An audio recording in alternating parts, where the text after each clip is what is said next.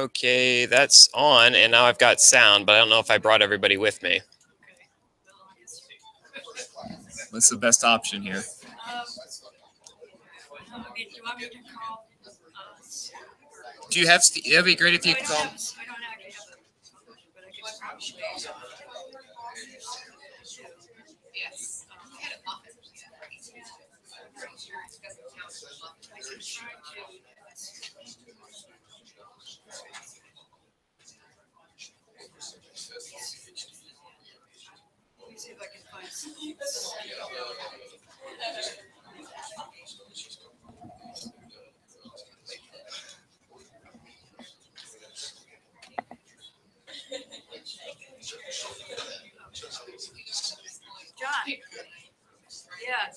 Uh, Is it working for you? okay.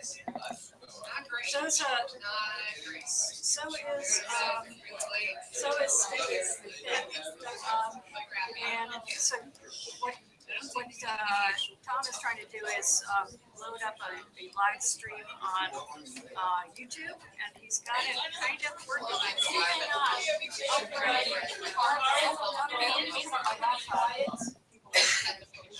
Here now, but, um, yeah, so, uh, Sorry. So the the issue that's going on is that we're trying to Skype in two committee members, and so bringing in people at the same time is hard because it's it's organizing to get both. And when the screen closed on the last PowerPoint, that ended the stream because that was the completion of the stream. So now I'm trying to get them back connected to us without being connected to us. So I apologize. It's not that we don't have the stuff, it's that we're trying to get two people not in this room back together with us.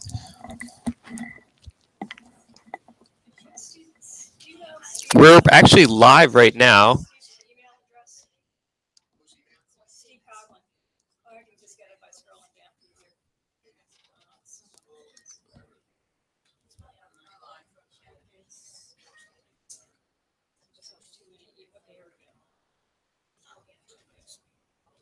We have two people actually watching, so that's good.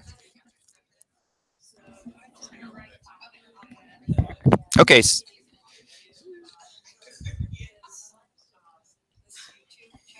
If you can fire it up and see if, um, Here I can write down what the. yes.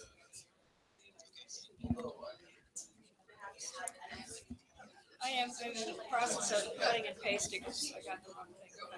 I gotta get the, I gotta paste down the, the, uh, YouTube link now, so. Okay, so I'm sending this up to you now. Is that the?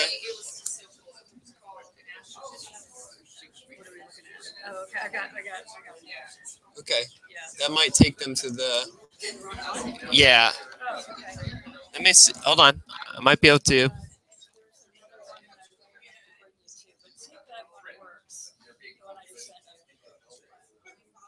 Oh, we have four people actually watching.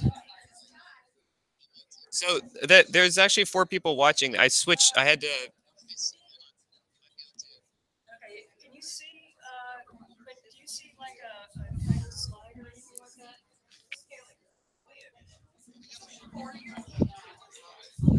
Do you see like, I can actually. Hi, John. Okay, so I'm sorry about all this. This is this is uh just a matter of getting these two to, to work together. So if you went to the last um, the last live link, it should take you to the live feed that that just concluded when when I closed the PowerPoint. If you go back to YouTube, you should see if you're at that page, you should be able to find um, my name, and there should be uh, in my channel live events. And I just made a new one so we could actually have that. Okay.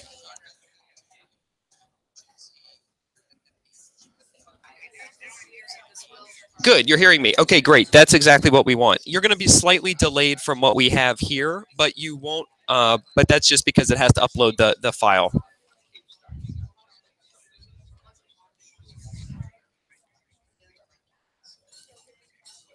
Great. Then then I'll give you hand you back to Karin. Steve, I think, is here actually. We have a number of people watching. Yeah, I think we're good. All right, so we'll, uh, I'll mark you. Yeah, exactly. Okay. All right. So sorry about the delay. Uh, unfortunately, doing live events at the same time doesn't always go as smoothly as you'd like, but hopefully the, the presentation will make up for that. So Karin introduced lampreys. That was a phenomenal introduction. Thank you, Karin. And I really have appreciated working with you and also here at ESF. I've really enjoyed my time here and a chance to do this work. Uh, what we're going to spend some time talking about today is lampreys. I'm actually going to close my live YouTube so I don't have to hear myself while I'm talking because that's only a little bit annoying. You can't hear it, but I can. It sounds like bees in my throat. So I'm going to talk about lampreys, and I did a lot of work with mark-recapture of lampreys, and I'm trying to understand the uh, a little more about the ecology, especially of the larvae of lampreys. This is a, a good picture of, of uh, some different sizes of lampreys, and of course, sizes are probably also associated with ages. I'm going to talk a little bit about that today. I had a lot that I wanted to put in here that I probably couldn't because of time limits. So uh, if you are interested in this topic and you think that, wow, Tom probably left out some stuff, that's in fact the case, and I would love to talk about it with you. So please do ask me questions. Lampreys, I think, are clearly unusual when you talk about fish, right? So a fish, as we traditionally see it, is something at the top, right? Actually, this is a native fish in New York, so you can go and find these. Um, but the fish that we see in, it, that we generally think about have things like what we call paired fins, right? Fins that are paired, you have them, their arms and legs. They also have things like uh, really big uh, fins for maneuvering, um, and they have they have scales. Scales is something that we think about associated with fish. That's something that lampreys don't have that we think that fish generally do. They also have one cover over their gills, right? It's just a flap. It covers their gills. If you lift it, you can see their gills, and that's something that lampreys again don't have. Lampreys really don't look like fish in the traditional sense. And I think the most obvious one that people come away with, well, lampreys, are these really fish? Are these really what are these things is that lampreys don't have jaws. And i have a, a lot of people get really nervous when i say that lampreys don't have jaws. It seems to really upset them. Actually most organisms that you think of don't have jaws built in the same fashion as yours right? So you think of jaws based on a vertebrate model but that's a relatively different model from all the other ways that animals go about tearing up food particles. So not having jaws is actually not that uncommon. And lampreys as a result because they don't have a jaw they have a disc and in that disc there are usually teeth, and then there's some sort of tongue or rasping apparatus, and that's used to, to peel away or pull away materials to expose it so they can actually consume it. The other thing about lampreys that you should know before we get started is this is a, this is a geologic timeline. Uh, lampreys are really, really old, right? Lampreys are not what we think of when we think of a traditional fish, and that's because they're not from our time, right? We think of, of recent fish as being somewhere probably in the Cenozoic. Actually, a lot of the animals that we deal with have evolved in that period. Right now, we're listed, we're right up here, right? We're right on this orange line. And in fact, the orange line is much thicker than all of human history. But lampreys uh, appear much, much earlier than that. Our first fossil lamprey appears about 360 million years ago, right? And, and it looks like a lamprey, right? That's in fact exactly what the fossil looks like. You can see it top side, bottom side, and, and uh, on the lateral. And what you can see is that the uh, the animal is a lamprey. It's a, it's a very obvious animal. So by that point in time, lampreys are already doing what lampreys do now, probably. Lampreys and hagfish. Hagfish are another member. Lamprey people look down on hagfish people. Hagfish people look down on lamprey people. The hagfish are these pink, ugly worms that live at the bottom of the sea. They're really unusual, but they're really, really cool. And it looks like genetically that they are the, the most recent common ancestor, or they, they, they belong in the same group with lampreys. And so at some point, uh, they are they broke away from each other, and that was probably about 500 million years ago. Uh, and if you look at the animals around at that time, what you'll see is that they look a lot like lampreys. They're these long cylindrical body plans. Sometimes they're flattened, sometimes they're not, uh, with some sort of head apparatus and no mouth, or I should say no no jaw. Right, this looks sort of like a jaw the way it's it's drawn, but that does not close like you think of with a fish mouth. That's an open disc again that does some sort of moving around inside of that. And so if you look at the time period where lampreys come out of, lampreys aren't that unusual. They sort of sit in there. Lamprey life cycles are also really, really interesting, and this is why this is one of the reasons I got uh, uh, interested in these animals. Lampreys have a really, really long larval period, and that transitions after going through a metamorphosis into a juvenile period. And that juvenile period is usually short. Uh, here I've said one to three years, and three is probably the maximum that any species of lamprey uses. And even within that, they probably don't use the full three years, they probably use about two and a half of it. At that point, uh, the juvenile is actually what we think of as a traditional fish. It's out in the ocean or it's out in the river, it's swimming around, it's feeding on other animals this larval period, which actually dominates that life cycle, right, is actually spent as what looks like something that is a worm. It's burrowed into sediments, it's in streams, it's probably feeding on algae and detritus, it's growing relatively slowly. Um, and that that is out of sight and out of mind. You might have lots of them around, you may never have seen them. And then they go through and they become an adult at some point. They breed, and then that's the end of it, right? Lampreys are a one and done, so they go out and breed, and then they they uh, the the offspring will hatch at that point. That's what we think of as a traditional lamprey life cycle. And this is the life cycle you'll see if you go into textbooks usually. Lampreys actually, probably most, if not uh, at least half of the species of lamprey don't do that. Uh, they do some of that. They do the whole larvae thing, and then they say, you know what, the juvenile thing, we're not doing that. We're just going to go and become a breeding animal. And so they actually stay out of sight and then only for a very short time do you actually see them. They emerge, they migrate to some spawning location, they breed, and then they're gone. Right? They die, and that's the end of the whole thing. And that's we all we have both kinds of lampreys in York. These animals are called non-parasitic because they never feed on another animal. The other animals are called parasitic because at some point in time they feed on those animals. And that leads to some really interesting things. So lampreys have these really inter interesting trade-offs that come about non-parasitic animals, because they aren't feeding on, on really high quality diet items, don't get very large. They just can't spend the time to get that big. But parasitics, which here I've called the river and the sea lampreys, uh, can get very, very large. Non-parasitics, which we generally call brook lampreys, don't. And probably non-parasitics don't go as far, right? If you're an animal that's 20 centimeters long, you probably just can't move as far as an animal that's two and a half feet long. There's probably quite a bit more movement you can do as a two and a half foot long animal.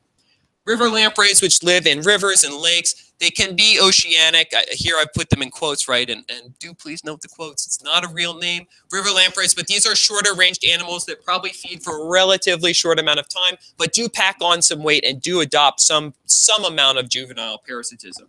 And then the very, very high end, the very largest lampreys we have in the world, there aren't that many of them, are really oceanic migrants. And they go way out and they feed for years. And then at some point there's a trigger and they return to an to the to a stream side and, and they spawn there.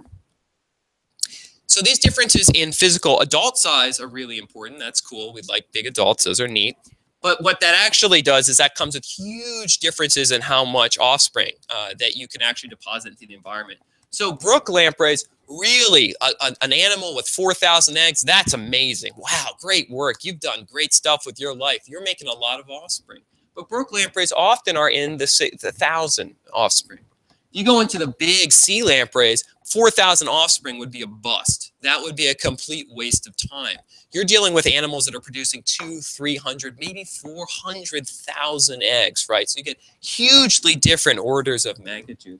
And in between, you have the river lampreys. And in both these slides, I've showed you that the boxes overlap. And that's true. In the wild, we do have species that seem to sit right on those lines. They seem to overlap. They look like really productive brook lamprey, but maybe they spend a long time being brook lamprey. And then there may be some river lampreys that look not that productive, but maybe they really don't feed very long and they just get a lot of bang for their buck on that short amount of feeding.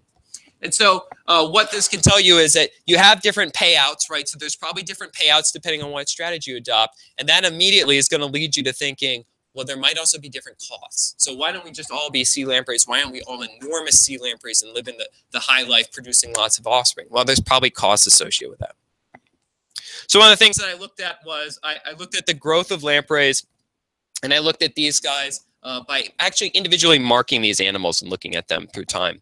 So lamprey growth rate in the ammocoete. So I'm really talking about the ammocoete, which is that larval period uh, is very, very strongly dependent on density. This is not a particularly unusual curve, right? Lots of animals in your environment, they compete for resources and your growth rate goes down. But ammocoetes are, are very, very often at very high densities with each other. So they often run into this problem of having very, very high densities and that means their growth rate drops, and that stinks. If you're if you've got slow growth to begin with, and now it's going to drop, and this is the portion of your life stage where you just want to get through so that you can get out there and feed parasitically, that can be a problem for you. But you have to also keep in mind that density is partially driven by adult fecundity, right? So if you produce only a few eggs, your densities really are not going to be that high because you're just not going to have that many individuals out in the, in the environment. But if you're a sea lamprey and you produce 300,000 eggs in a single nest, and those get washed downstream and all land in the same small area and they live there, well, that's an enormous problem. Now you have densities that are just every time you move, you hit another animal. And so that is really costly. And then, of course, some of the other things that lampreys can't necessarily control directly, but can control it by how much they migrate is uh, the habitat availability. So if you're willing to go really long distances, you can recover some of that density in a sense by lowering it, by spreading your, your young out over large areas. But if you don't, if you say, well, I'm not going to go very far, right? This isn't worth the travel time for that. Then you have the problem of everybody's going to be stacked up on top of each other. So we really do want to understand some of the elements about how they're moving within the environment and how that affects growth.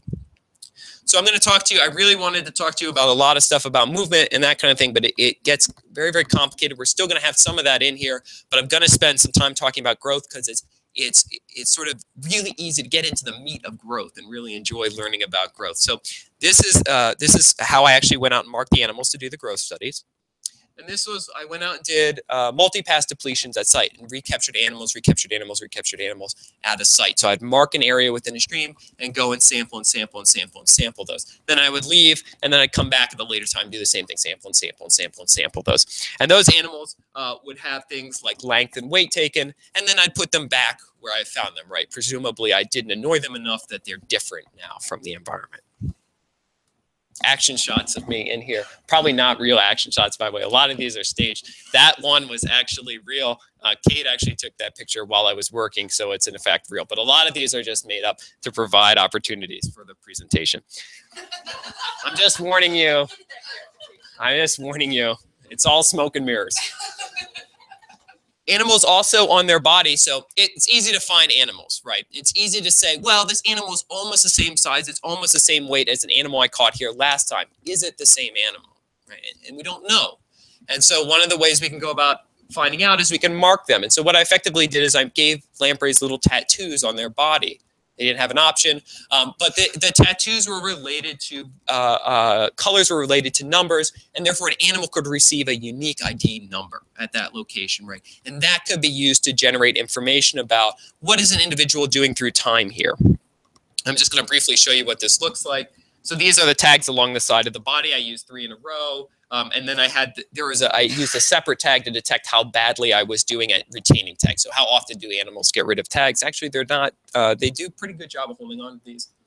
And you can, these are different colors, right? And each color corresponds to a different value. And then the orientation, vertical or um, uh, horizontal or vertical gives you also a different value. So a red horizontal is a different value from a red vertical. And by default, I said red verticals are, let me use the right hand. So red verticals are going to be ones, red horizontals are zeros. And you can do that. If you have five colors, then you get a base 10 system, right? And you can do, uh, you can come up with lots of different values.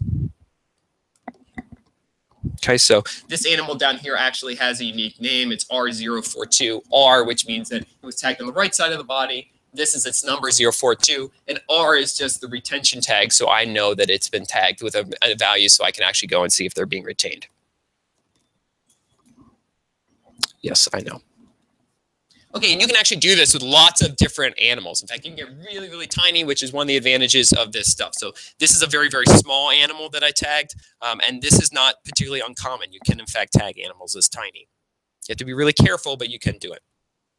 And I did this in a couple places in New York. And one of the reasons I didn't do this in a lot more is, unfortunately, where we're located in New York, we're central to an area that doesn't have a lot of lampreys around us. So we always have to drive to get some. Um, and tagging actually takes a lot of time. You actually spend a lot of time in the environment and spending a lot of time manipulating animals, going to a site, releasing animals, recovering animals, and then moving to a new site and doing the same thing. So it takes a little while to do that but I did have uh, three sites. One of which was this site down here in the Genesee River, which is with a non-parasitic, never feeds uh, as an adult. Uh, most people don't know they're there, but if you go out right now, in fact, and walked around the stream, you would see them. And in fact, if you just kick some rocks, they would come shooting by you because they're looking all over the place to spawn, um, and they're very easy to find. And then the other two sites, one was located in the Hudson Valley, and one was located in the Delaware River, were for sea lamprey. And those are parasitic, those are oceanic. They go way out to the ocean, right? They're probably feeding on the animals um, along the, the continental shelf. And then some point they return to a stream and spawn there. And I did this roughly at one month interval. So every site got visited at, at about one month intervals um, except during the winter time. There's a couple reasons for that, and one of which is that animals are not responsive in the winter. And if you go out and actually try to collect them, you can end up killing them because you use a backpack shocker to do so. Uh, and if the animals don't move, they actually just they get immobilized and actually killed inside the inside the sediment. So we don't collect uh, in the winter time. All right, so let's talk about what I actually found so with growth. So let's look first at Dyke Creek. These are non-parasitic animals, spend their entire life uh, probably in a, a relatively uh, limited area. This is a length frequency distribution. This gives you information about how fast animals are growing potentially. It also gives you information about how old animals are growing, right? If there's some relationship between how eh, animals growing consistently year to year. And one of the things that you can do here is that these peaks are probably related to groups of animals that were all spawned at the same time and are probably all about the same age. And if you label these, what you find right, is these animals right here. I know that the smallest animals of the year have not yet come out because I know this was collected July. So these were animals from last year that have made it through the winter and the spring. So these animals are all year one plus, right? So that's about a year. That's probably about two, and that's probably about three years if you just use length frequency. And I did say that, in fact, when I first looked at these. Um, but what I ended up doing is because I collected through an additional year, right? You can actually follow these very same animals through time. And what you find is that they don't align with that second peak. Um, as you would expect, they shouldn't be, they, this is not a year two. Uh, in fact, that's probably um, a year three and a year four. So these animals are probably taking about four-ish or five years to get out there, uh, these small non-parasitic animals.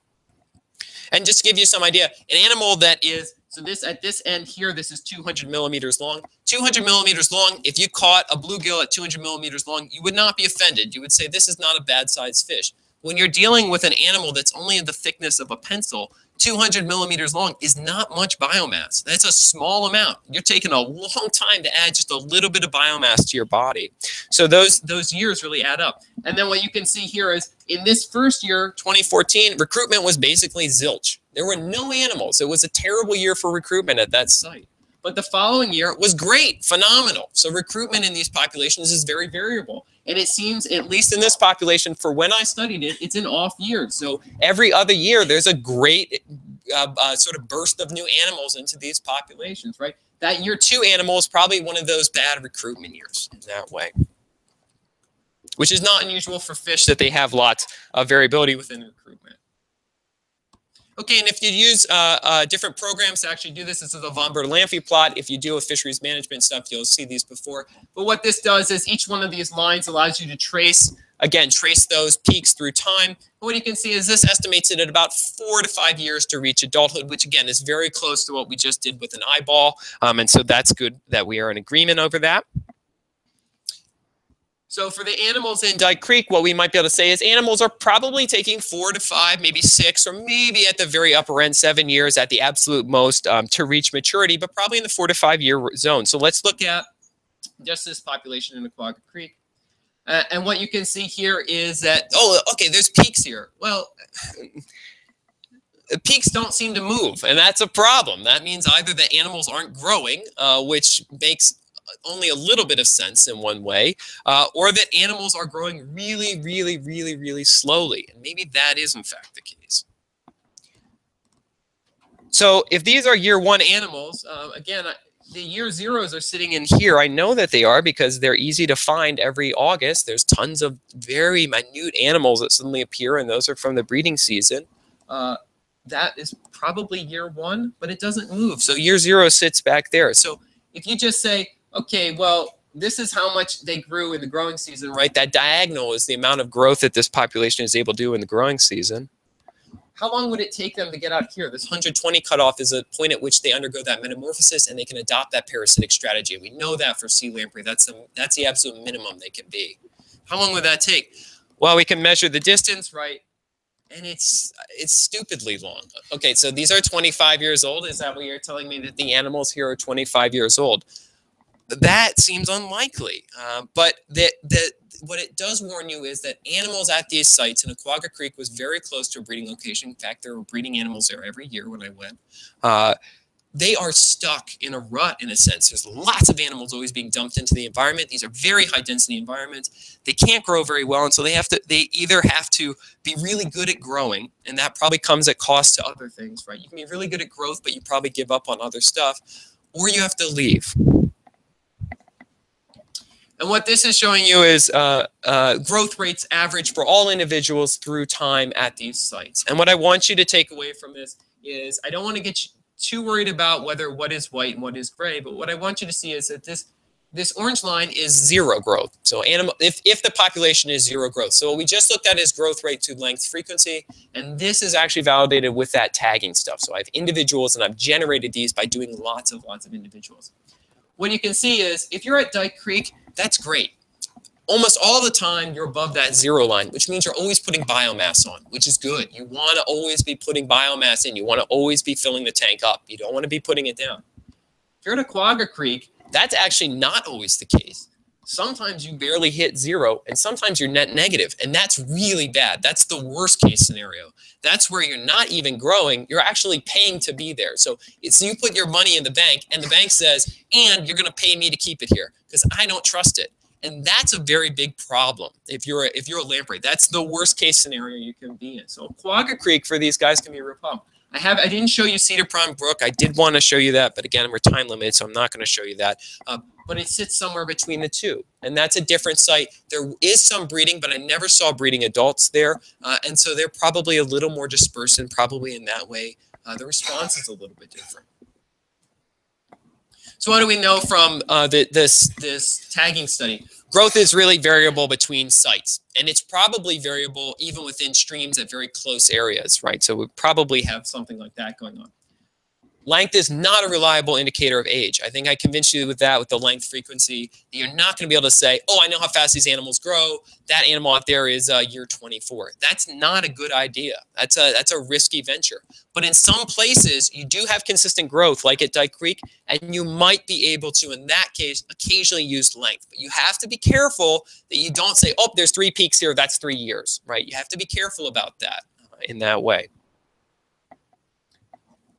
individuals at some sites have negative growth. And so that tells you something really important. That tells you there's a real cost to being in some places. So there's probably all sorts of very interesting stuff that comes as a result of that. And then ammocoete growth places and where we expect we if you ask people how long does it take a lamprey to become a parasitic if you're dealing with animals in the great lakes or how long does it take them to be an adult probably takes them three to seven years so these animals for new york we're sort of at the we're starting to get into the cooler regions of, of north america and so the, the temperatures are, are a little bit cooler uh, than what we see at the very southern ends of, of lamprey ranges. And so four to seven years is probably a really good estimate of how long these guys are taking. And probably four to five um, is more likely. Although in some places, like I said, you might have really slow growth. And so animals may be stuck uh, and they may have to make some, uh, some really serious decisions about what they're about to do. Okay, so that was growth. And we've done growth before. This is not novel in the sense that suddenly someone went out and measured the growth of ammocoete. Wow, this is the first thing. But this is a growth of ammocoete with individual tags, and that is a little bit unique. Now we're going to look at ammocoete with individual tags, and that's going to allow us to look at how much they move uh, from the site that we're at. So tagging with a batch tag, which is uh, in a lot of fish cutting off a fin, like cutting off a finger, except your fingers would grow. It would be cutting off a finger, and it would. I wouldn't be able to identify individuals, but I would be able to note if I had an individual tagged or not. In this case, with an individual tag, I can actually know who's leaving the room, right? So if we have a bunch of people in the room and I individually know everyone and they leave, I can know the rate at which individuals are leaving, and so that's really important one of the things I've been alluding to so far is how good are they at mixing, right? Mixing rates are important here. So you have lots of animals that are coming off a breeding area, they're going downstream, and but how good are they about getting out into that habitat? So how good are they about dispersing themselves into the available habitat they have? Often we assume that they are very good at it, right? That this is perfect. But that's really not fair. Those are often poor assumptions, and you know that because you've experienced uh, mixing rates as an important part of your life. So we need to know the rate of mixing here. This is a good example of that. I, I don't know that with this picture you'll be able to see it, but what I wanted you to see is these are all young of year from exactly the same location. And when I measured these, some of these animals were almost twice as large as others, and yet they're all probably this, the literal same day old, right? That I mean, these are animals but the, the fact of the matter is, if you have animals that are doubling the rate of other animals, there are huge differences that are driving that.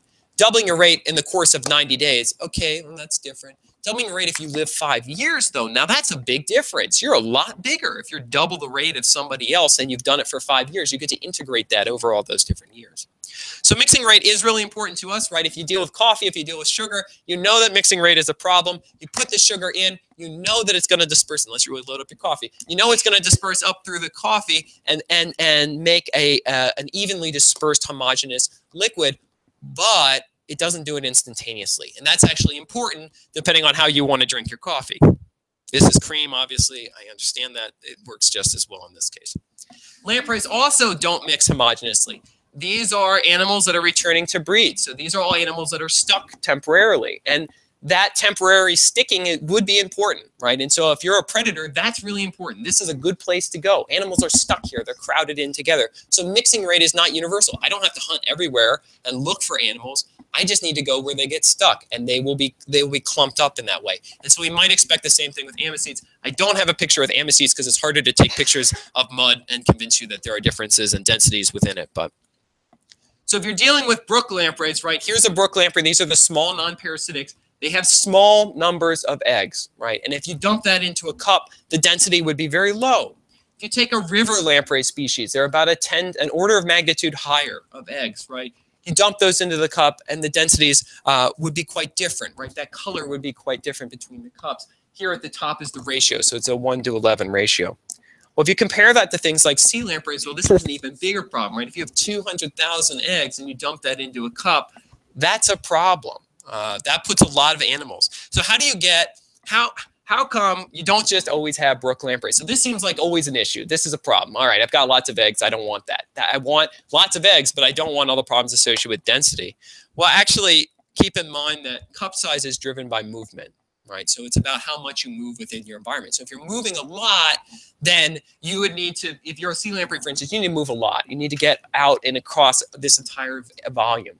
If you're a brook lamprey, you can move very little and receive the same benefit in that case. You can spend much less on movement. And that way you can scale your cup down. And that's how you would get the same color in this sense. That's in that way and then you normalize by density. So animal number, if this is this is sort of a, a, an idea of what it would look like. If you're at the day that animals are spawning, animal number right on the spawning ground is super high, right? And then at some point in the future, day X, that number drops. And that's driven by a couple of things. One is uh, the dispersion of those animals. And that's what, this, what I tried to look at, how fast animals could leave the site. And the other one was mortality. And I would like to deal with that. Um, and this, the, the estimates I generated are really confounded. They have both dispersion and mortality together at the same time, although probably most of it is dispersion. Um, but to get to separate those apart is hard. And, and that's one of the, the things that, that still needs to be done uh, for these guys. And then the what pulls the tail out is dispersion, right? So what's pulling that forward is dispersion and what's lowering it is two things at the same time. And the way we can actually go about doing that is we consider an organism as alive or dead. So we don't have to deal with the Schrodinger cat problem of is it alive and dead at the same time? And in fact, it is alive and dead at the same time. But uh, we're going to pretend like there's an alive and dead state. But we don't always know if an organism is an alive and dead state, right? Right here, we all know that we're alive because we can see each other, right? But if I asked you about an individual who you can't see, you have to make a prediction based about that individual. And if I tell you that you might be able to know that that person, you might be able to meet that person, confirm your prediction, but sometimes I'm not going to let you. And then you're going to have to make a prediction again, right? And that's sort of the problems that we're running into.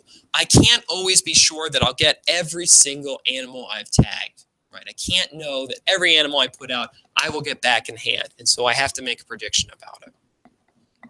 And that way, so we can what I'm really interested in is, is whether an animal is dead and dead to the model, which is actually not here. not here. So it's not in the area. I didn't recapture it. And that comes with this phi signal. And that's what we call parent survival. Animals are definitely alive because I have them, um, but they could also be apparently dead because they're not here. But that could be driven either by them being dead or not being here. And it's like if you had a coin that you could flip, but sometimes the box is obscured and I told you what's a, what's is a heads or tails? And you said well just show me what's in the box. I can't do that. And that's a, that's what we're sort of dealing with in wild populations. In that way. So we have a percent chance to capture an organism and that confounds our estimate of uh, whether the organism is alive or dead but that's how these models operate. Okay so I use this um, and what you get is you get an estimate of the apparent survival uh, between events. So when you go out, you have it, you capture some animals, you capture some animals at another time, and then between those times, you have an estimate of the apparent survival. When you're actually out at that site, you can estimate how good you are at bringing them in, how good you are at collecting those animals, so you can actually estimate that apparent sur survival estimate appropriately. Again, this is the sampling that you saw before. This is the same. I, when I was going out, these were the data that I was collecting. I did this at two sites 11 times and one site six times. Okay, and then these are, this is actually an underwater picture of these animals being released once they're uh, resuscitated. You can see that they're very quite happy um, to go burrow back under the sediments. And what I want you to see here is that I, I marked a lot of lampreys. I mean, I, we put a lot of lampreys out into that stream. There's 970 individuals that were individually marked. These are individually marked. I also marked very, very small animals slightly differently, but I'm not including those here. And I have 1,500, about 14, 1,500 records. Most of those records are one-off. Animals are captured once and then they're gone. So animals are dispersing. Um, they're probably not dying uh, that fast. But I do capture some animals again. Okay, so animals are there. Very rarely do I capture animals over and over and over and over and over again at the same location. Eight is the upper limit. Never caught an animal more than eight times. And it is interesting. You get the same animal, you put it back, you get it back in your hand. But those are rare events. Most of the time, you put an animal in and it's gone. All that work that you did for that animal is gone. You don't get any more information from it.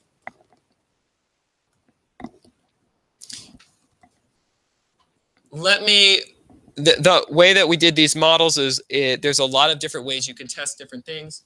Um, you can assume things are static or not. Let me show you the model results and explain them to you as opposed to stepping through these one at a time. I think you'll get bored. Uh, but the models allow, I'm not going to deal with AIC uh, or the number of parameters here because, I, again, I think for the, the purpose of what we're going to do, um, we're going to be focused on the model itself. So up here at the top, what I'm going to show you is this the phi symbol is again the thing we're really really interested in that's the apparent survival so how how likely are animals to stay and remain at a site and live there the other thing is that probability of capture. How likely am I to get those animals? How likely are we to actually capture them in time? This up here, this is at Quagga Creek. This is for sea lampreys. This is in the Delaware River. These are parasitic animals. What you see is a probability of um, capture. It varies with time. Um, and the, the apparent survival is associated with what I've, I have here listed as G, which is groups. And groups were locations within my stream. So pools that I went to and sampled. So that's a group. This is a pool, that's a pool, this is a pool, that is a pool, right? Those are different groups. The AIC values, the, the rule of thumb of AIC uh, would say if it's under two, you just ignore it. It's a way of detecting how good we are at, at different models are against each other. If you're at six, they're actually, they're starting to be pretty different and you go for the lower AIC value. So this upper model, which says that pools are different for apparent survival. You survive differently depending on where what pool you are at this site. And you're also, you, Tom, are, are capturing them um, at differently at different times of the year, which I could have told you. So let's look at that. So that's good. So sample area, which is the pool in this case, is variable. In some sample areas, apparent survivals are basically zero. If you put an animal there, it will leave. It is never going to stay. It, it will not stay in that area. If you go to other areas, you can see you're getting about 60, maybe almost up to 70% uh, retention at that area between sample events. So between months, 70% of your animals are going to hang out there, right? They don't go anywhere. And th these pools here, uh, number 10, um, and number six are actually cut off uh, from the streams by and large. Now, if it rained and the water level came up, they can go away. Uh, but most of the time, water level is very, very low. And if animals were trying to escape from those, they'd have to go over small barriers and they might actually be exposed temporarily to the air if you're even a moderately sized animal. So those really do have very high apparent survival. That makes sense. Animals don't want to move. And what you can see is that your probability of capture varies. So in the summer, when water temperatures are warm, when animals are active, when they're coming out, my probability of capture is good. I'm good at getting them. As soon as it gets cooler, I'm not very good at getting them, right? They don't come out. The response is, I'm not coming out. Now, you can shock me as many times as you want. I'm just going to sit here. And that's sort of one of the things that I began to realize. And one of the reasons I started to, to limit the amount of shocking I did is because I knew that animals were being very slow to respond to shocking. Even when you were there over and over again, they just would not come out. So I would leave them in that way.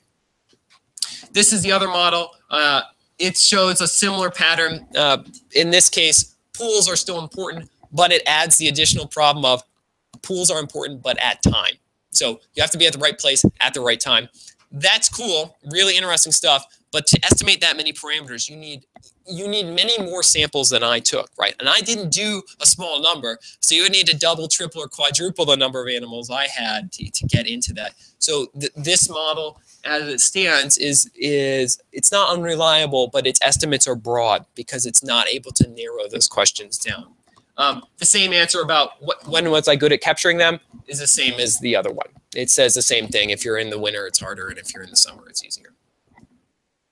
And you know that because if you go in the summer and you shock, boom, animals are all over the place. And you go in the fall and you shock, and you can sit there for two minutes and nothing happens. And you could, you know, you've got, you know, there are animals right there. They're right there. So what do you get? What's a summary? VIE, which is what I use, these tattoos are actually really good at, at, at marking ammocoetes. Um, and they can do it over uh, multi-year periods, probably a couple year period. They're probably pretty effective for that. Sites were different from one another. I didn't show you that, but I think that what I'm alluding to by only showing you one site is that sites were different. And so if you were to look in the thesis or in the dissertation itself, you'll see that they're actually quite different from each other, which is interesting and is good, right? Based on what I was telling you about, well, cup sizes are different, maybe that, no, they should be different. They are experiencing different types of life histories, and so their response in their environment should be different. They should do different things there. Animals move most often in the spring and the fall. So if you are looking to capture the same ammocoete over and over and over and over again, go in the summer. They don't move. Unless it rains a lot, they really aren't moving. If you go in the spring and you put animals out, that's it. They're gone.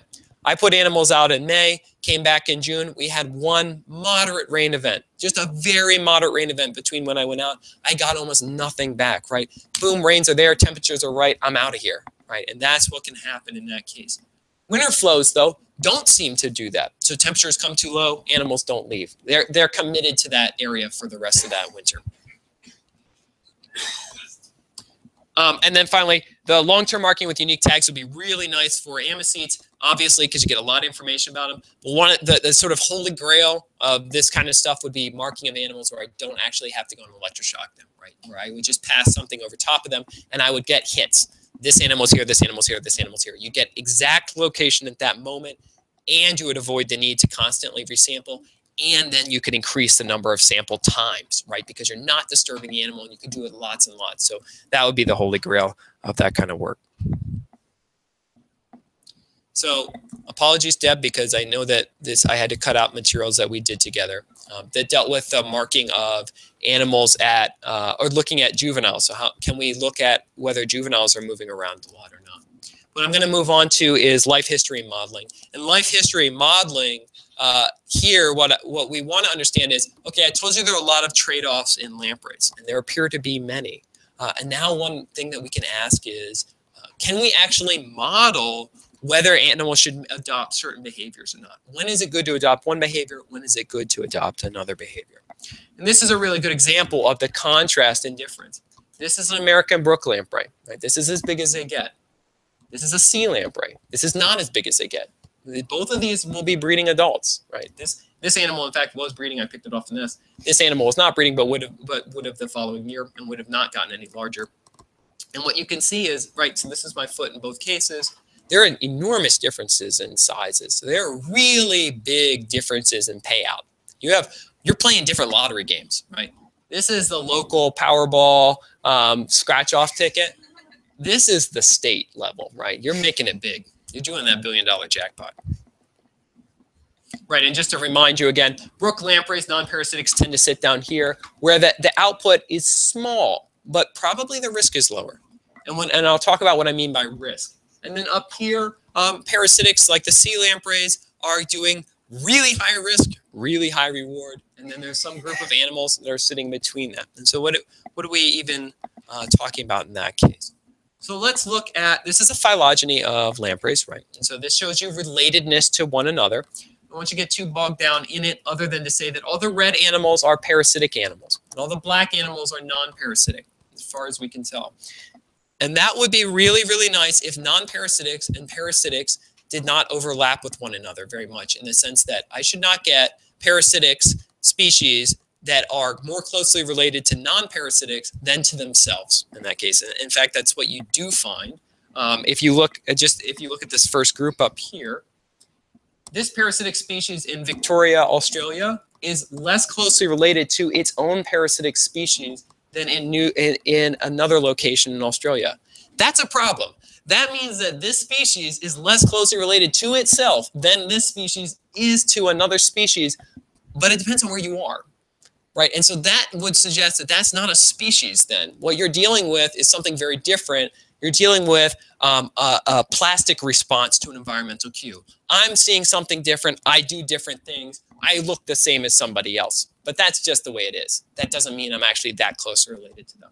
This is in Australia, but this happens all over the place. We have all sorts of these problems um, within within lampreys. So when I told you that about half of lampreys were non-parasitic, that's true um, if the species exist.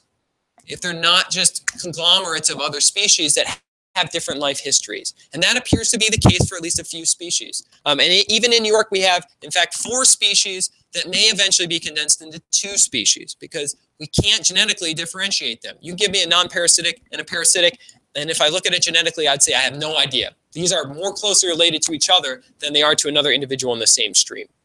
But if you give them to me physically, I'll say, well, obviously, this is a look at the size of this thing. It's parasitic, and here's a non-parasitic. Yeah, those are different species. That's an obvious difference. Well, here's an example of that. This is uh, this is one from North America. Here's a paired species. The parasitic is on top. The non-parasitic is on bottom. Non-parasitic it's grainy because we don't often don't have a lot of pictures of non-parasitics. A lot of people don't go out and take them. That's why I've actually added uh, a lot of pictures to my blog so that I have a record of these animals and I can draw from them for presentations. But just to your general appearance, these animals look very similar. I've scaled them to the same size, so they're not actually this size. If you look at the oral discs, right, so we're not looking at jaws, but if you look at the oral discs, to your first glance, okay, these look exactly the same. They are very closely related. They are clearly closely related in that way. But look at how strong the, um, the points on these teeth are. And here's a non-parasitic. And look at how weak those points are. In fact, all of those points right there are gone. They're just abraded away. Uh, and that's because those teeth really don't grow that sharp. These animals can cut your finger. These animals you can't, you can almost not feel uh, for their teeth because they're so blunt compared to the other ones. So there are very distinct differences within the, the teeth pattern there. The other problem is if you look at a non-parasitic, I told you non-parasitics don't move much. At least that makes sense, right? They shouldn't move very much. Um, and I didn't find them moving very much.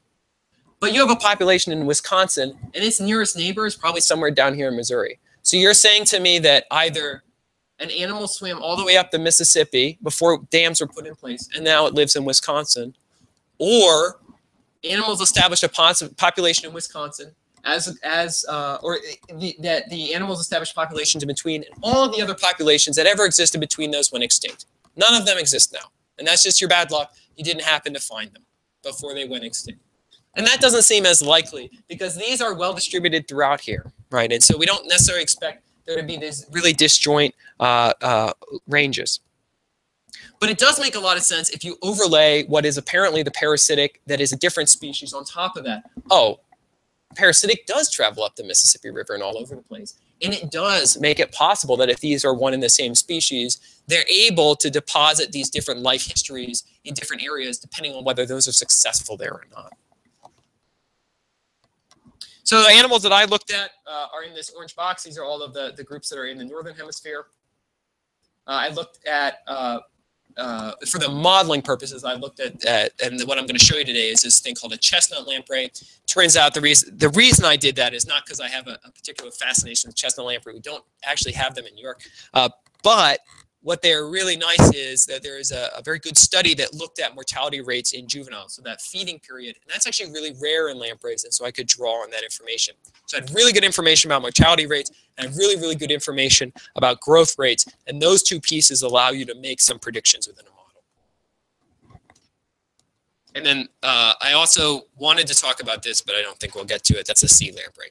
And then the one, the, the Lethenteron appendix is a American brook lamprey, and I won't talk about that let's talk a little bit about this model. So life history models work really, really well, um, potentially, but life histories are also infinitely complex depending on what you look at. There's an infinite number of strategies that could be adopted. So how do we try to deal with some of that problem, right? Bifurcation is a real issue. So we need to go in and, and trim the tree in that way. And how do we pick a better strategy? So what's a better strategy? And, and, and that's something that we have to decide on. What's the payout that the model will decide on? And then finally, what are we going to use as the currency of the benefit? For humans, it's easy to look at it and say, well, money is the benefit, right? It's money because money drives this and this.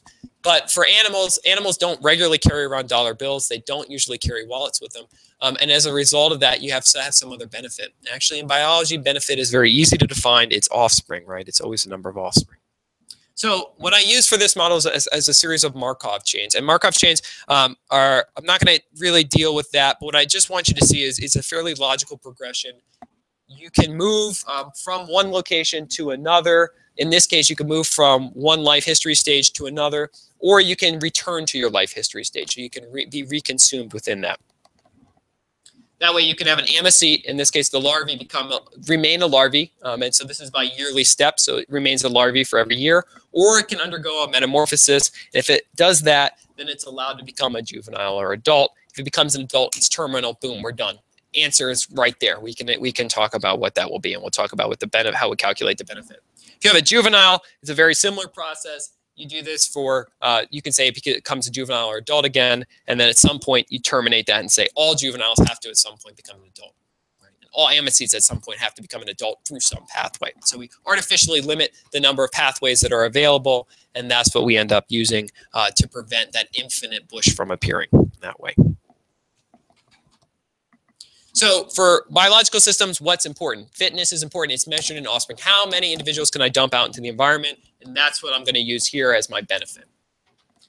Offspring are actually very closely related to how much weight you can bring to the table, right? Because weight is related to how much energy reserves you have. How many energy reserves you have is how much you can donate into the reproductive game. So if you imagine this as an opportunity to spend your resources to buy something if you have more weight, you have more money to push around. You can say, I want more of that. And what you want more of is offspring, So you can buy more offspring. You're a little skinny guy, you don't get many offspring, right? That's that's a, a sad fact of life. And so here, uh, what we'll do, and we can deal with this, is relative fecundity. So I deal with a value of how many eggs per gram of body weight you can produce. And the cost of getting that benefit. So I've told you what the benefit is. Great, I want that benefit but you don't always get that benefit. That's dependent on whether you survive to that time, right? It's not that you always get it. It's whether you're lucky enough to make it there or not. And so it's a, it's a simple problem with uh, probability again. The odds of you getting uh, heads heads is 25%. The odds of you getting heads tails is 25%. The odds of you getting tails heads is 25%. The odds of you getting tails tails is 25%. Doesn't mean that that's how it's always going to come out, but that's how you calculate it. You say there's a 50% chance that I'll get heads or tails here. Um, and if I, if I say there's a 50% chance of me getting tails and a 50% of me getting tails on the second time, the odds of me getting two consecutive tails is 25% way. We can do that with life histories, right? The odds of you making it from one year to the next is the odds of you living from one year to the next year. And eh, every consecutive year that you add, you multiply those together to get the odds of you making it to that final year. And I will warn you that for fish, that's going to be a very low number because you are not dealing with 99% survival like you see in human populations. You're dealing with a great year of 50% survival. That's really great. You've done work, good work this year. So in that case, I just showed you that. Uh, and that what we can do uh, with these things is we can get these survivals from year to year, right? So if we have those survivals, we can multiply them together. And then we get an average benefit for that outcome. So we take the odds of surviving times the maximum benefit for survival. We multiply those together. That is the average benefit for animals that adopt that strategy. And that avoids the need to have individuals in your model because you can deal with averages. You can say, well, we could look at this from an individual perspective. And that may be important when you're dealing with very, very small numbers of uh, animals, right? It could just be luck. If you have two animals and they're one's adopting a really great strategy and one's adopting a really bad strategy, really doesn't matter if this animal dies because you stepped on it right? The bad strategy just won, right? But if you're dealing with millions and millions of animals, we can ignore all that and say, ignore any of these random small stochastic events that cause things to suddenly disappear, reappear. Let's just look at it in a broad sense. What would be the best option if I did this a million times? What would be the best opportunity for me to adopt in that way? It's the same way here, right? So if most of the animals die, but one gets a benefit of 100, the average benefit is 25. Or you could say the odds of you getting there is 25%. The outcome would be 100 if you got there. So the average benefit in that way is 25. So hopefully I convinced you that those are the same. And then, of course, one of the things that this links us back into is growth rate, right? We really want to know growth rate because that's really, really, really, really important for estimating these different, for estimating when populations do well in that case. So this is the parameters for the model. I wanted to step through these, but I think it's it's on a small screen and with a, the limited amount of time we have, let's not be too worried about it. But let me just say what we do within the model is I have some initial weight for animals. There's some growth rate for, for different life stages. They have some different growing periods, so the amount of weight that you can put on per year is different. And then there's some survival rate for each life stage. So how likely you are to make it to that terminal uh, stage is based on those different values. So let's go through these um, and, and, not uh, step through each one individually. And then you dump this into a model, right? So this is the actual model in R. And your R doesn't have to be black, so it could have been white with blue font, but it's black with purple font here. Um, and what I actually did was build this into a user interface uh, so that you could actually build out um, and, and, do this without having to go into the code itself. And that makes it much easier to deal with.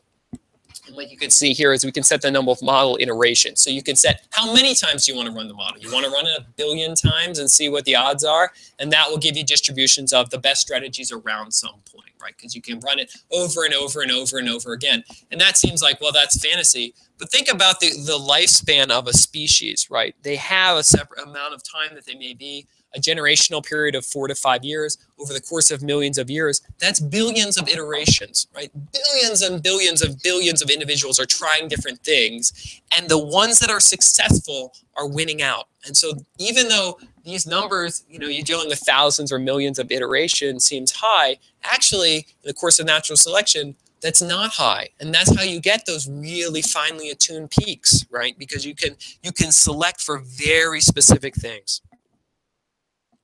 so let's talk about the results because that's what you want to see. I looked at a population of chestnut lamprey that um, an individual named Hall looked at for his actual dissertation work. And what he found was um, the the chestnut lamprey adopted parasitic strategies. He went out and fed. He never found as far as he could tell non-parasitic chestnut lampreys. Okay so the model should produce that. And what I have here is, this is the adult weight that the model produces. So this is the, the weight the model says, you should be this when you're an adult. And this is the counts based on the number of iterations you ran. So I ran a thousand iterations for this one. The gray ones are non-parasitic. And the black ones, which you can barely see, are parasitic. So that tells you that my model is saying, Hall's population, you're wrong. They're doing it wrong. You should have been non-parasitic. You should have looked into this model before you did that. And that seems to present a real problem right away, right? So I have the most data on this population. This is it. This is the model. I can build the model off this group because I have the most data for it. And the model provides you very little support that that's the, the strategy that population should adopt. So there's something wrong. Then the model is wrong. Maybe. Um, let me just point this out. Yeah, so you can actually see individual. So that's individuals out of thousands of iterations that were successful with these parasitic strategies. So don't be parasitic. Well, if you look at Hall, so this is my length weight frequencies for American brook lamprey, non-parasitic that I collected. If you look at Hall's stuff, his animals actually, for the adult chestnut lamprey, after they have fed parasitically, after they are adults, they end up right there, right in the middle of where my non-parasitic American brook lampreys are saying, it's time to it's time to do it. It's time to go and reproduce, right? his largest lampreys are smaller than my smaller American brook lamprey adults. They are tiny. They're little tiny guys that go out and feed parasitically. And if you look at the literature on American on chestnut lamprey, you'll find that there are actually no other reports that I know of of chestnut lamprey that small. These are unusually small chestnut lamprey. This orange circle is where I've seen all of the reports uh, within the other population. Now, it says not a particularly well-studied species, but I don't know of any other reports of animals that small as adults. And in fact, if you look closer, those extremes are unusual. That's the max min values that we know of. Those are the ones where people say, wow, so that's a real small animal. I should report that because that's pretty cool. Wow, it's a really big animal. I should report that, but that's really cool. But it's not really that cool because those are not the ones that are adopting the average strategy. Those are either the really unlucky or the really lucky guys, right? Those are the stochastically lucky or unlucky individuals. Not as interested in them. Interested in this egg in the middle here, this, this orange area and those animals are quite distant from the ones um, that I, I used within my model. So maybe the model is right. The model's right in a sense. It's taking it and saying, if you have an animal that acts like an American brook lamprey, it should be an American brook lamprey. It should do the non-parasitic thing. And for Hall's population, that raised all sorts of interesting questions. Why are his animals different? And if you look at something like a sensitivity analysis and you say, why doesn't his animal do the same thing? Um, and you look at juvenile survival, so that's that parasitic survival, versus ammocoete uh, survival. And this, this one is one with a high ammocoete growth rate, and this is one with a low ammocoete growth rate. And the size of these circles is related to the length of the lifespan. That's fine. That's cool. But what we really want is this gray area. And the gray area is important because that tells you where the animal should be parasitic. And if you look at Hall's population with fast growth rate, um, his juvenile survival was about 8 to 9%, so it would put you in right at about here, at this line right here. And uh, what you'll find is that ammocoete survivals, we think they're not well estimated, are probably in about the 50% zone. So if you're there for Hall's population and you have relatively high ammocoete growth rate, you should be non-parasitic. But if Hall's population was coming from an ammocoete with growth rates that were about half of that, right, or, or, or lower, then what you find is suddenly the parasitic option is much more attractive, right? You can't make it as an ammocoete. You do have another option, right? And so that gives you some information about Hall's population. Maybe he's dealing with a population that has very, very slow ammocoete growth or survival because in the model, those are treated very similarly maybe he's dealing with a population that's unusual right now because it is in the in the process of becoming a new species in that way. This is these populations are recovering glacial species, right? So the glaciers did not retreat that long ago, right? The Great Lakes as you see them have not been the Great Lakes as you see them for any amount of time. We think of them as changing rapidly. They have.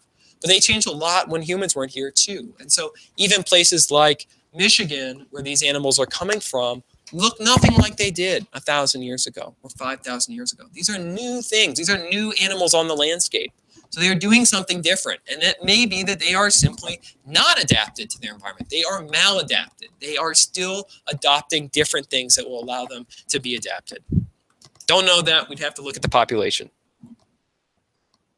So what does that tell you? Uh, lamprey populations show a lot of flexibility within that uh, based on this modeling, that there's a lot of areas that they are flexible in uh, if you make some slight changes within the model. Non-parasitic and parasitic animals can work in the same population. You can do it. You can get a species that looks radically different, that adopts two different strategies, but is one species. Just depends on how well you're doing at different times. And one of the things that may drive that is how fast you grow as an ammocoete. You grow really poor, you give up. You say it's not worth it. I'm gonna I'm gonna risk it. We're doing it big. We're gonna we're doing the juvenile thing. If you're doing really well as an ammocoete, you say, why would I bother to give up? This is the high life. I am a low risk environment and I'm growing well. I don't have to leave the area where I'm going to breed very soon, and I'll just come back and breed right here. And so, in that way, non-parasitic and parasitic environments from this or uh, animals from this model are supported. So that would that is at least in line with what we start starting to believe is actually out there. And then current survival estimates that we have for these animals do seem to be reasonable. We're in some ballpark figure area that does make sense, uh, but we need better estimates of those. Okay, this is a sea lamprey nest. You can actually still see these in this. This is photographed months after it's over, um, but they dig large nests and leave them there, and then they're very easy to find later. In fact, if you ever go into a, river with sea lampreys that are common, um, you may walk along a riffle and then suddenly your foot will dip into feet and you'll be up to your knee or something. And that may in fact just be a sea lamprey nest that, that was used. Uh, they leave them all around because they make them all up and down every riffle. Okay, so what's the takeaway message? Lampreys are an ancient group, right? So this, I, I, I, think that what you can see is that they're sort of weird and unusual, but they're not simple. Uh, they're not easy to understand just because they're old. That's not the case. we do need a lot of work to do on uh, we and we have a lot of work to do on survival estimates, and that's something that I am showing you that there are maybe some tools that we can get into that would look at that. I don't have them. I have not yet done that. So maybe that's that's a direction we need to go. And certainly for unusual population like that chestnut lamprey population, really deserve more study. Right? That's a really interesting thing within the, the environment. Lamprey growth, I think you'll be also be convinced is highly variable, and that's really useful if you're trying to build uh, uh, plasticity into phenotypes because you don't know what you're going to get until you go out and try it. And there's lots of different opportunities out there. And then that leads to huge differences in age. Age and growth is really important for survival, and survival and age and growth all come together to be really important for the odds of getting a payout, which is the number of offspring. And then probably that has been one of the leading drivers of why you have um, so many different feeding strategies in lamprey. So that's it. I know that we are behind time um, in that way, and I apologize for that. But I do want to thank uh, the Great Lakes Science Commission. I didn't show their data here, but they were they funded part of my dissertation. So uh, and they continue to be a group that I talk to. They do a lot of work on sea lamprey, of course, which is a problem for the Great Lakes. Hudson River Foundation funded a lot of that, uh, the material that you saw, and also some material that you didn't see. And so I would like to thank them as well. Um, and they, they were very generous in their support. And then, of course, ESF, through various means, provided support to me, um, as well as the members that are also up here, um, including the Sussman Foundation as well. And then actually many, if not all of you, have provided support for me at some point in this dissertation, uh, whether it be through talking with you or struggling with, with uh, problems that you may have had. But what you didn't realize is that I often had the same problems and that struggling with uh, problems that you had, I also had to deal with my own problems. And it was a really good learning experience for me um, to, to get feedback from you and to get a completely different perspective on that. So thank you as well. And thank you also for your time. And that is the end.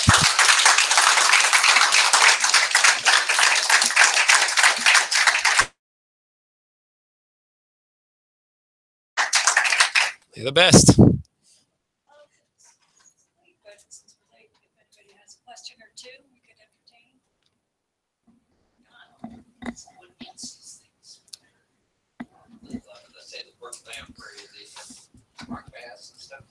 Yeah, you mean when they're adults or when they're larvae? Well, Probably you know, both. When they're larvae, they're kind of varied, that they come out and uh, Right. be an adult and they're spawning. Do predators go after them at that time, or do they not overlap? So that would, yeah. So in my experience with brook lampreys, um, and it, in the literature, brook lampreys tend to move at night, and that is probably to avoid predation in part. But if you go out towards the middle or the end of the spawning season, animals are moving all the time, and they have no options. Right? They're trying to get to a breeding location. They're running out of time. Temperatures are warming up. They got to get the eggs in the ground, or they're going to die, and that's the end of it. And they and so probably everything. Um, the the animals that I have seen uh, are uh, very concerned about any movement towards them. So if you walk by them, that makes them startle. They don't really like that.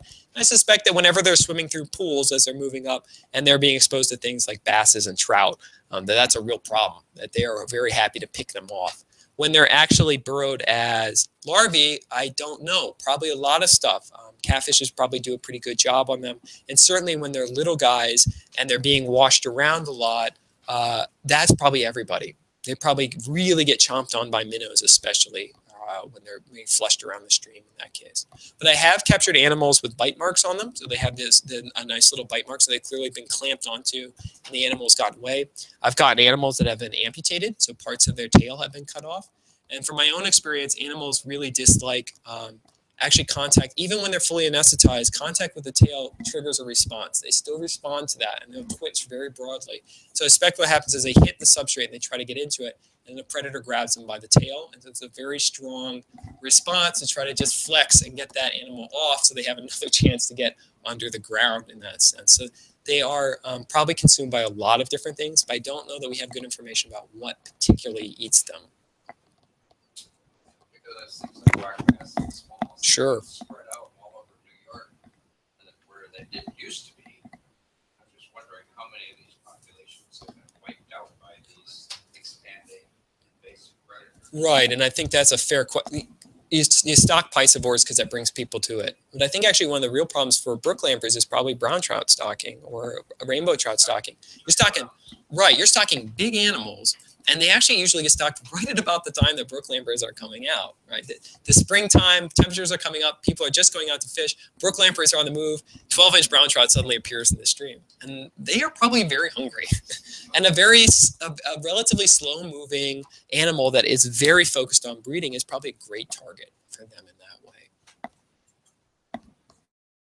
Um, the, the growth curve that you showed for your American brook lamprey really, really nice. Um, and I was curious, since you said you, you were looking at a whole bunch of other lamprey species, um, did you see growth curves that showed um, where some of them were using this parasitic lifestyle and some of them were using this lifestyle? So that is, yeah. So if you look at sea lamprey, right, and what I found is that sea lamprey growth curves were different by sites, and in fact, one of them was different by year, depending on when you went. And it may just be a matter of if you're willing to pack on more weight um, to length. So are you willing to keep putting on weight to length, or do you say this is really, really bad? I'm just getting out of here. Uh, whatever the minimum is, I want that, and then I'm out.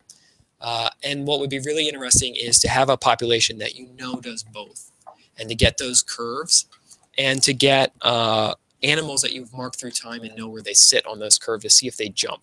Do they make jumps between them? And the other thing that would be really interesting, and I don't have it here, and it's because it's really hard to do, is sexing of animals. Because I strongly suspect that females are doing it differently. Males are probably doing it smaller. Um, they can probably get away with that females probably have to spend a little more time packing on a little bit more energy. They can do that in a single growing season, great. You know, they can recover that. But it may not be the case. And we know that lamprey sex is flexible. They're able to change it. And so that's another sort of uh, uh, tool that they probably have in the toolbox and allows them to cope with lots of different strategies. Conditions are really bad. Yeah, you could be parasitic. You could try changing sex first, see if that worked out for you. That didn't work out. Maybe we try. Maybe we do the ju- juvenile thing now. Maybe we do the parasitism. Um, and so that that question of can we get different growth curves will be interesting to compare uh, with populations that we have in Allegheny actually, because we know we have both species together, but they're separated by dams. So we know that they're not everywhere all the time together. So some populations are doing it, some are probably not. Are there any iteroparous lampreys? No, not to anyone's knowledge. and that is a that's a that's something that would be very interesting to know why that's the case.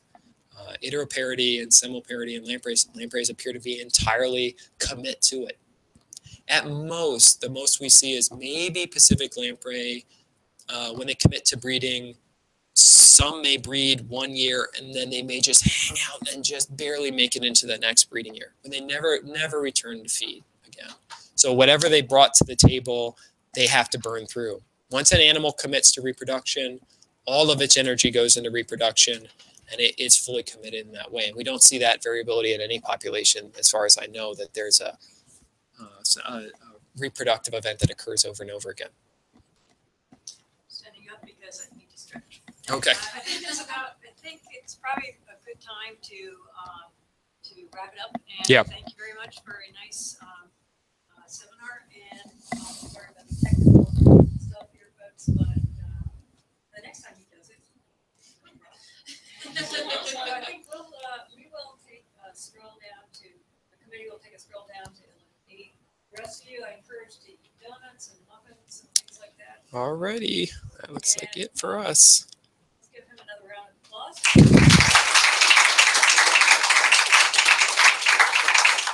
Committee members, I just, uh, I just emailed the, the committee members and suggested that we needed fifteen minutes. Sound good? Sorry, it's pushing, get forward a bit, but hopefully that's gonna us some time to get set up.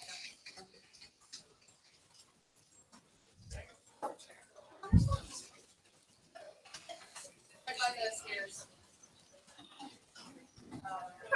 Eric, Hey. I see that smile on your face. That means that your weight, weight on your shoulders has been lifted. Sorry, I was I figured you were out taking trees and I didn't want to. No problem. Tom, I'm Betsy. Hey, how are you? Good to see you, and this was really very interesting for me. Good. I'm glad. look forward to the next phase of this. and I'll see you Yeah, I'm sure it was. Great. I'm sure it was. I really wanted to see leeches of the sea, but thanks for telling me. It's on Leeches of the sea. It's on YouTube, right, Tom? It should be.